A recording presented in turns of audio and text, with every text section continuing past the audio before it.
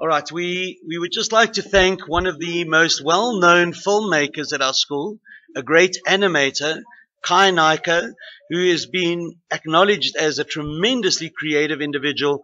And I've asked him to be a guest and explain and tell us a little bit about his inspiration and tell us about some of the films that he's made in 2Animate, a Purple Mash tool. So welcome, Khai. We have talked for quite a long time about presenting some of your work, and I'm very pleased to see that you are here with two of your friends. Um, if you could each just introduce yourselves, that'll be wonderful. My name is Arush. I'm Khai, um, and my movies I make I always I always look at stuff in a different way and um, yeah. And that's amazing. That's creativity. And we have a third guest. Hi, I'm Ayan Nair. Right, so welcome to all of you three. Khai, uh, Khai, I love the idea that you see things in a different way. And that's probably one of the qualities that makes a brilliant filmmaker. So we look forward to seeing some of your films. Do you want to take over the mouse and show us some of your works and give us a little bit of an explanation of what they are. Okay, um, the first one I have is is this one. It's about a di- it's about dinosaurs. It's a very long movie. Let me slow it down a bit so you c- so you guys can see.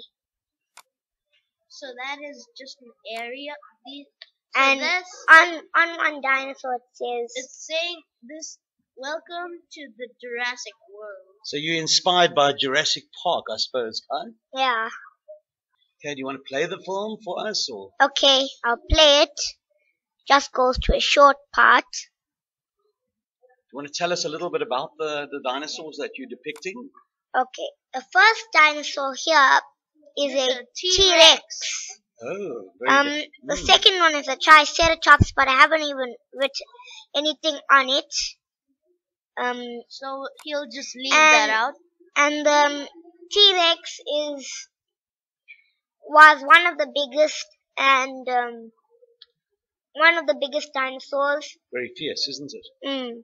One of the most deadliest. Okay, very scary dinosaur. I And suppose then that's the- why they put it in Jurassic Park. Okay. And then the first, the the most, the most dangerous dinosaur is um is the Allosaurus. And you should know that all the dinosaurs are already extinct. Okay, so we And got there are there are only one species of dinosaurs that live today, and that is reptiles. Reptiles include tortoises, snakes, crocodiles, and many more.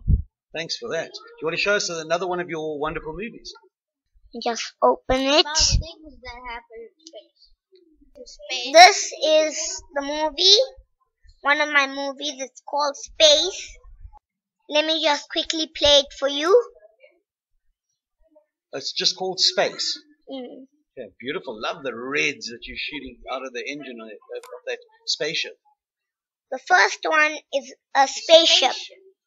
It's flying past. Spaceships need about 500 meters, 500 um, liters of fuel to get it to the moon.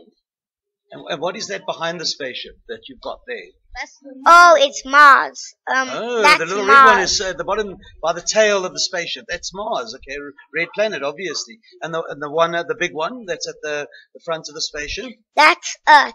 Excellent. Oh yes, We live right over down there. brilliant. It's Beautiful. And then the next one is This an is a- alien. This is a, a alien in a UFO. Wow. It's an alien flying to Earth. And then the third picture I put in here is a satellite. Is used to take pictures from the space, and then it is used to take pictures from Mars or uh, other planets. A satellite is also used for communicating from space to a computer. It gives internet from space down. Marvelous. And then the last one is a meteoroid coming heading for Mars. And you can see that red coloring is the fire coming from the meteor. Sorry to interrupt you, but how do you get all this energy to produce so much work? Oh, I, I still don't know how. But that's wonderful. You love doing what you, whatever you do, you love doing, and that's why you're so good. Tell us a little bit about this one. Okay, this one is an Egyptian theme. Um, let me quickly play it. It's Egypt and then inside the pyramid. You might wonder why it has Japanese writing or Chinese writing. It's just, I found this picture and I decided to put it in because it looks like the inside of a pyramid. It just looks like a fancy way how to um like say what it looks like in there. I think it's beautiful. Thanks for showing us that. And interesting how the gold color inside matches the outside. Of, that's lovely that you use that technique, that there's this blending and the two seem to fit very well together. Lovely. And the oldest tomb and the oldest pyramid in Egypt is the Pyramid of Giza. 200 chambers. Amazing. Thanks so much for sharing that with us as well. The Oh. first one is a T-Rex. The second is um pterodactyl. And the third is a Spinosaurus. And the Oh. last one is the same pterodactyl. Pterodactyl. So pterodactyl has got ability to fly. So is that why it's got wings there? Tremendous. Wow. That's a, that The, is really pter- the pterodactyl is about 20 years old and 21st year it died and it and the fo- the first fossil of the of the pterodactyl was found in in Japan. Wow, that's fantastic. And can we have a last look at that T-Rex because that kind of links in with the Jurassic Park of your first video. Oh, look at those lines that you've used on. Why did you use the orange for T-Rex? T-Rex, that kind of color? Or like No. I, tigerish. I I T-Rex. wanted I wanted it to stand out more in pictures. Ah, beautiful. Okay, very good. And I love that volcano in the background.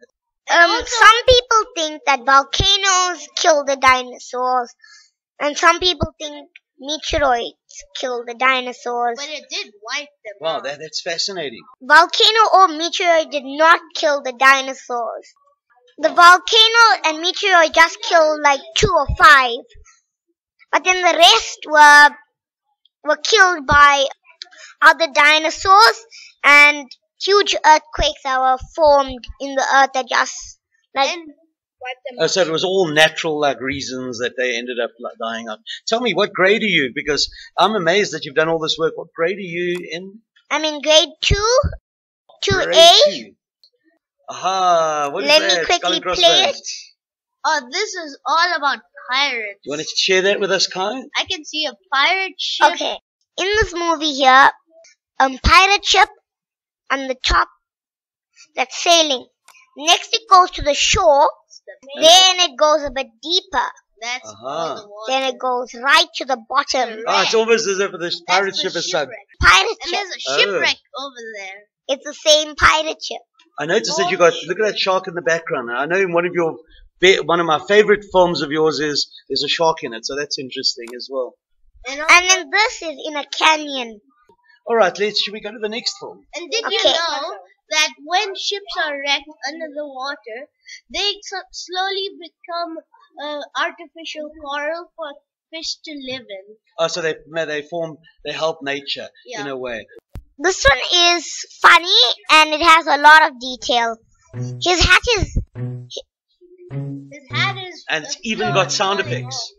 You can hear the sound effects. And his briefcase is. What is all slo- these little fluffy things coming out of that? suit? oh, it's a foam flying out of his suitcase Why would he have foam in his suitcase? And his umbrella is to keep all his stuff in.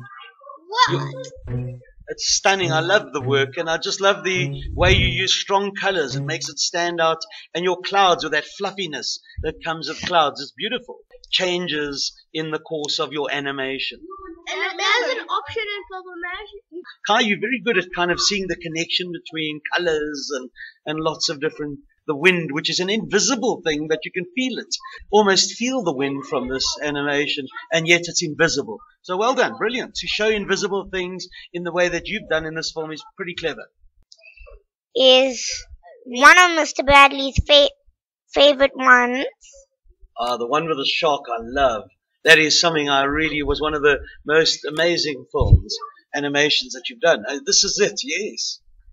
the the story I'm telling here is about the shark wants to eat the tuna and the tuna wants to eat this clownfish.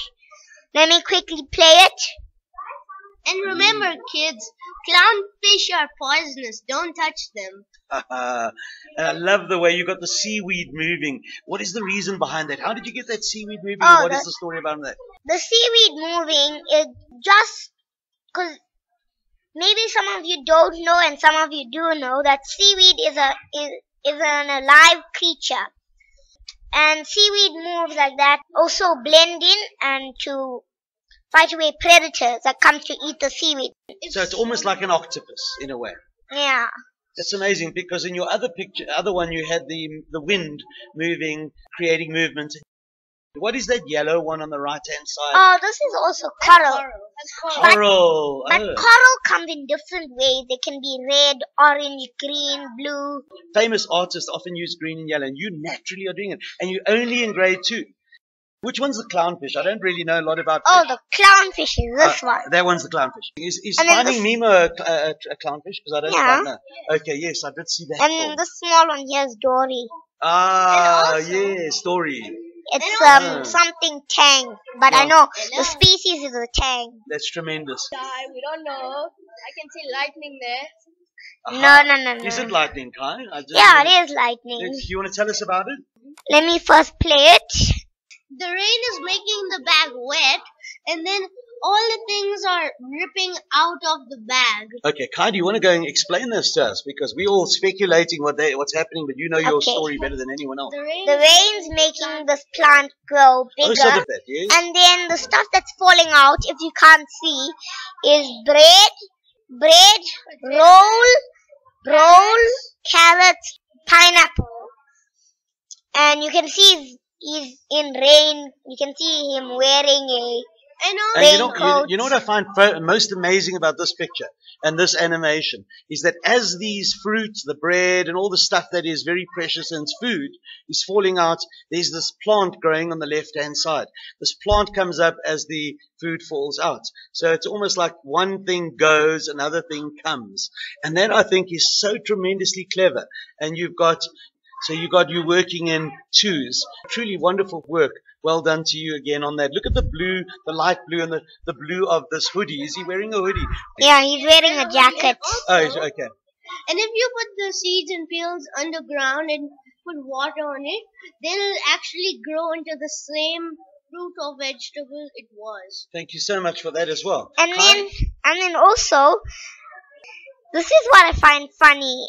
Some people think when I show them this video or this film, they say the bread is gonna grow into a bread tree. No. oh, a bread tree. That won't happen. Yes, yes. I'll show the last one. All right. Are you going to do any work during the holidays? Because we know how inspiring that would be. This is a story about an owl who gets scared by the dandelions and flies away. And remember, the dandelions, you can make wishes with it. People believe that when you blow on them, it'll make a wish for you. The way that that owl is sitting there and suddenly he opens his wings, it's so realistic. This is really, truly remarkable. Do you want to tell us a little bit more about it? I think it's amazing. Okay, so the story I have behind this film is so the owl is sitting and then he gets scared and then he wishes something on the dandelions and he blows it. Then he flies away to the place he wants to go. So wind is very strong theme in your work. You had that other one where that man was uh, with the wind. I think it was the man. Here you got the dandelion with the wind. It's beautiful. It's truly wonderful. And I love the And- purple, um, fluffy things on the tree. The flowers. It, it, it's like so satisfying when you watch it.